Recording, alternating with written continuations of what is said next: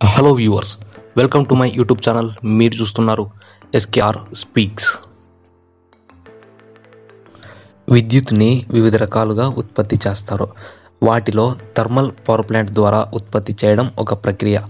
ఇప్పుడు మీరు చూస్తున్నది thermal power plant thermal power ప్లాంట్లో ఉన్న ముఖ్య పరికరాలు బాయిలర్ టర్బైన్ టర్బైన్కి జనరేటర్ అనుసంధానమై ఉంటుంది. కండెన్సర్ మరియు కూలింగ్ టవర్ ఇక్కడ మీరు చూస్తున్నది బాయిలర్. బాయిలర్లో బొగ్గుని మండిస్తారు. ఈ పైప్స్లో నుండి నీరు వెళ్తుంటుంది. మండించిన బొగ్గు నుండి వస్తున్న వేడికి ఈ పైప్స్లో నుండి వెళ్తున్న నీరు మరిగి ఆవిరిలా మారుతుంది. ఆవిరిని టెక్నికల్గా స్టీమ్ అని అంటారు. ఇక్కడ రెడ్ కలర్లో కనపడుతున్నది ఆవిరి. ఈ ఆవిరి ఈ పైప్స్ ద్వారా టర్బైన్లోకి వెళ్తుంది. మీరు చూస్తున్నది టర్బైన్. ఈ టర్బైన్లో రోటర్కి బ్లేడ్స్ ఉంటాయి. ఈ రోటర్ జనరేటర్కి కనెక్ట్ అయి ఉంటుంది. టర్బైన్లోకి వచ్చిన ఆవిరి హై ప్రెషర్తో బ్లేడ్స్ని తాకుతుంది. దీంతో బ్లేడ్స్ తిరుగుతాయి. తిరుగుతున్న రోటర్కి జనరేటర్ కనెక్ట్ అయి ఉండడం వలన జనరేటర్లో విద్యుత్ ఉత్పత్తి అవుతుంది.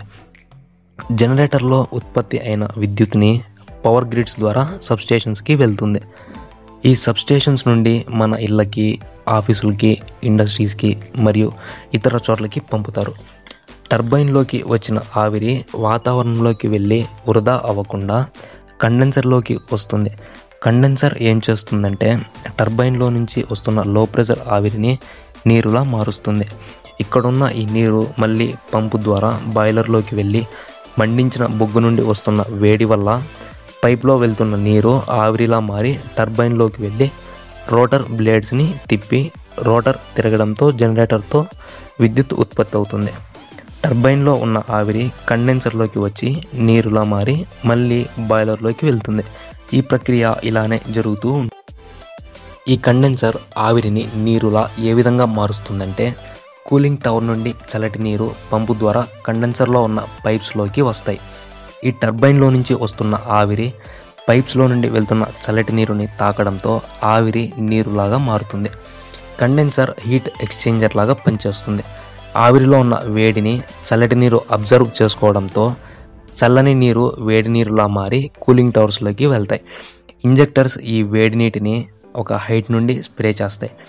బయట ఉన్న గాలి ఈ స్ప్రే అవుతున్న వేడి నీటిని తాకడంతో ఈ వేడి నీరు చల్లటి నీరులా మారి కిందకి వస్తాయి. ఒక రెండు మూడు శాతం మాత్రం ఆవిరిలా మారి బయటకు వెళ్తుంది. మళ్ళీ ఇక్కడున్న చల్లటి నీరు పంపు ద్వారా కండెన్సర్లోకి వస్తాయి. ఇలా ఈ ప్రక్రియ జరుగుతూనే ఉంటుంది. మరి ఈ వీడియోలో థర్మల్ పవర్ ప్లాంట్ ద్వారా విద్యుత్ని ఏ విధంగా ఉత్పత్తి చేస్తారో తెలుసుకున్నారు కదా. Thank you.